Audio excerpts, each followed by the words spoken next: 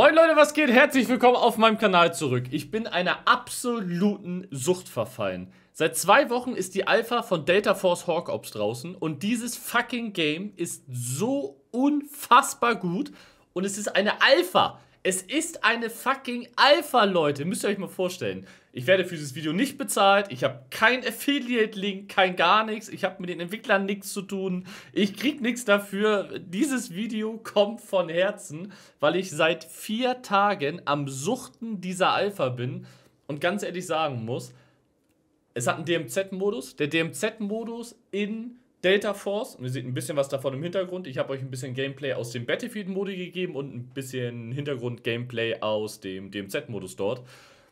So wie DMZ in Warzone war letztes Jahr, was sie dann leider ja eingestampft haben, nicht weiter supporten. So wie es da war, war es nicht wirklich Tarkov DMZ-like. Es war viel zu soft. Ihr habt wirklich nicht wichtige Sachen verloren. Ein Rucksack, eine Streak und ein gute Plattenträger konntet ihr schnell wiederholen. Man hat da viel Potenzial liegen lassen, obwohl DMZ generell als Modus sowie Extraction-Based Shooter halt auf dem Vormarsch sind. Und das sieht man nicht nur bei äh, Escape from Tarkov, das ist einfach der Marktführer, und dem Scam von Arena Breakout und was es da alles gibt, sondern die sind auf dem Vormarsch, da gibt es mehr. Und DMZ war ein guter Anfang von COD. Ist wie immer, wenn COD irgendwas gut anfängt, sie stapfen es wieder ein und dann machen sie halt wieder nicht weiter.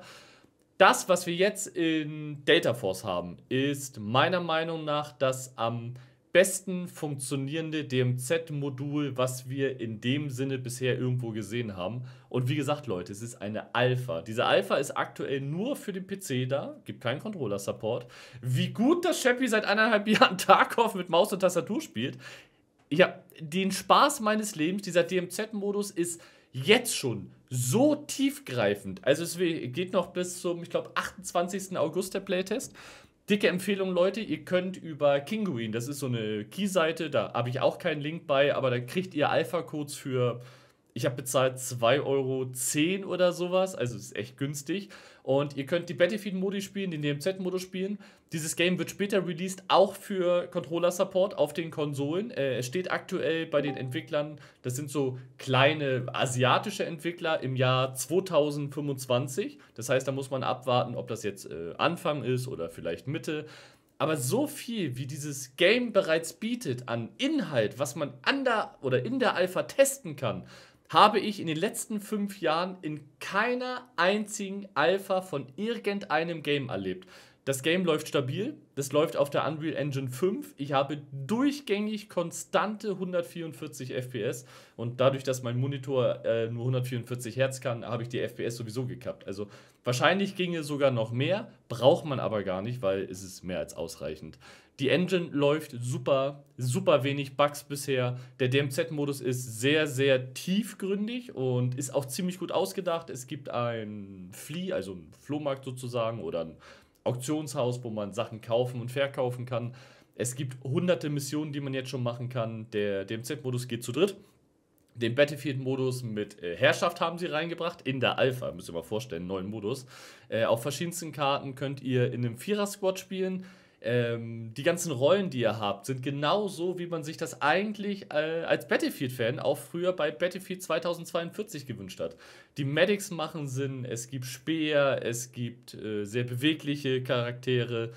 All das, was man die letzten Jahre als Fan von DMZ oder Battlefield oder sonst was sich so ein bisschen gewünscht hat, bekommt man jetzt schon in dieser Alpha geliefert ohne dass man dafür aus diese 2 Euro wirklich viel zahlen muss. Und man muss es ganz ehrlich sagen, super, super viele Sachen davon sind aktuell sehr, sehr richtig gemacht. Gestern Abend haben wir wieder 8,5 Stunden in dem Z-Modus durchgesuchtet. Ich bin ja bei Level 19 mittlerweile. Die Gunfights machen Spaß, das Killgefühl in dem Battlefield-Modi macht unglaublich viel Spaß. Die Karten sind sehr, sehr schön, sind sehr, sehr groß. Ihr habt genau wie in Battlefield Helikopter, ihr habt Panzer, ihr habt ATVs, ihr habt Transportboote, Fahrzeuge, ihr habt wirklich alles das, was man sich die letzten zwei, drei Jahre von Battlefield von Anfang an gewünscht hat, und da reden wir von Entwicklern wie DICE und EA als Publisher, da ist Finanzpower hinter, macht Delta Force richtig. Und das von einem eher vergleichsweise kleineren Studio, von irgendeinem asiatischen, dahinter ist Nova Logic, Climax Group, Climax Studios, Rebellion und Aspir Media. Wer das so hört, sagt die, viele von euch, außer die absoluten Insider-Kenner mit Sicherheit. Kenne ich nicht, was ist das? Meine dicke Empfehlung, Leute, dieses Game ist unfassbar gut. Eins der größten Probleme, was ich damals beim Release von Battlefield 42 hatte, und ich war noch nie ein riesen Battlefield-Fan, aber ich habe mich durchaus gefreut und habe auch die Beta durchgesuchtet, was leider nur eine Karte war und ein Modus und das drei Tage lang.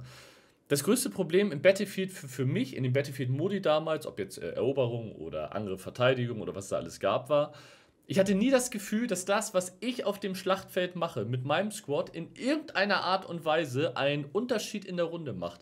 Ich hatte nie das Gefühl, dass es Sinn macht, äh, jemanden zu killen oder dass es mir was gebracht hat, jemanden zu killen. Es gab nie das Gefühl, dass es Sinn macht, eine Flagge zu erobern, weil alles so ein undurchdachtes Chaos war. Die Zerstörung, auf die man sich gefreut hat, war marginal. Das ist etwas, was hier bei Delta Force richtig gut funktioniert. Ihr könnt Zonen und Stellungen erobern. Und diese Stellungen und Zonen sind in der Regel ein bisschen gecovert mit Sandsäcken, mit Holz, mit Wänden und so. Und während ihr fightet und das einnehmt und eure Spezifähigkeiten benutzt, also Smoke-Granaten, damit ihr ein bisschen gecovert seid, oder es gibt einen Charakter, der Pfeile schießen kann für Elektroschocks und für Aufklärung, Währenddessen können andere mit Granaten, Raketenwerfer, Panzern diese Deckung von diesen Stellen und Stellungen kaputt machen, so dass ihr oben steht und teilweise darin stirbt. Und genau das ist das, was Battlefield für mich als auch nicht großer Battlefield-Fan, aber eigentlich immer ausgemacht hat. Zerstörung und äh, Spaß und Fights für Stellung und Eroberung und all diese Sachen. Und Battlefield hat das alles einfach nicht hingekriegt. Und ich finde, Battlefield 2042 war einer der schlimmsten Releases von einem Game, was ich je gesehen habe. Die Tatsache, dass Leute von euch einen dreistelligen Euro-Betrag ausgegeben haben, weil sie die Season-Pässe haben wollten. Und der erste fucking Season-Pass nach über einem Jahr erst kam. Wie schlecht ist das bitte von so einem Studio wie DICE und mit einem Publisher wie EA dahinter? Und da geht es nicht darum, dass EA ein guter Publisher ist. Das wissen wir alle, dass das nicht der Fall ist. Aber da sollte ja eigentlich genug Finanzkraft sein, dass man so ein Game release und das halbwegs fertig ist. Dazu die Spielabbrüche, die FPS-Drops, äh, das Clunky Movement. All diese Sachen funktionieren in dieser Alpha von Delta äh, Hawk. Ich, ich verwechsel den Namen immer. Delta Force, Delta Hawk, das ist so komplizierter Name. All das funktioniert bei Delta Force Hawk Ops grandios. Und das in einer freaking Alpha. Es ist nur eine Alpha, da wird irgendwann wahrscheinlich noch eine Beta dazukommen. Äh, dieser Playtest ist unglaublich beliebt aktuell. Auf Twitch 80.000 Zuschauer, müsst ihr euch mal vorstellen, bei einer Alpha, Leute. Bei einer freaking fucking Alpha. Und ich mache dieses Video nicht, damit ich irgendeinen von euch motiviere, irgendwas zu bezahlen, weil, naja, der Code, wenn ihr die Alpha testen wollt, kostet 2 Euro und Kinguin ist kein Partner von mir. Ich verdiene daran, wie gesagt, nichts. Dieses Video ist wirklich von Herzen als Gamer, der nach so vielen Enttäuschungen die letzten Monate und Jahre, was äh, Playtest angeht und Alphas angeht und Game-Konzepte, die mir eigentlich gefallen haben, wie Splitgate am Anfang oder Shatterline, das waren alles so Sachen, wo ich gedacht habe, ey, da ist Potenzial, da kann man was draus machen, da, da, da kann man Gamer mitbekommen. Und dann kamen halt solche Flops wie X-Defiant, wo ich von der ersten, von ersten Playtest gesagt habe, irgendwie es gibt gar keinen Point, dieses Game zu spielen, weil ja, man levelt Waffen und kriegt eine Goldtarnung. Klasse. Alles andere ist halt leider sehr schlecht daran, deswegen spielt es halt auch kaum noch einer. Es ist leider einfach so. Und damit will ich gar keinen angreifen. Es ist doch schön, dass ihr ein Game habt, was kein SBMM habt, wenn es jemandem Spaß macht. Aber die Spielerzahlen und Zuschauerzahlen und die Kritik an XT-Fine sind ja nun so laut und deutlich, dass man merkt, dass dieses Game es leider mal wieder äh, mit Ubisoft dahinter verkackt hat. Delta Force wird noch eineinhalb bis zwei Wochen äh, in der Alpha-Phase sein. Nächstes Jahr wird der Release davon sein. Und meine dicke Empfehlung, wenn ihr Battlefield-Fans seid, kauft euch für 2 Euro diesen Code. Das ist nicht mal ein halber Döner mittlerweile. Ich bin mir sicher, jeder kann, der gamet, 2 äh, Euro äh, wegwerfen. Testet das noch 5, 6, 7, 8 Tage aus. Ihr werdet Spaß haben mit den Boys, ohne die Boys. Ihr könnt auf meinen Discord kommen. Wir haben viele Delta Force-Freunde aktuell.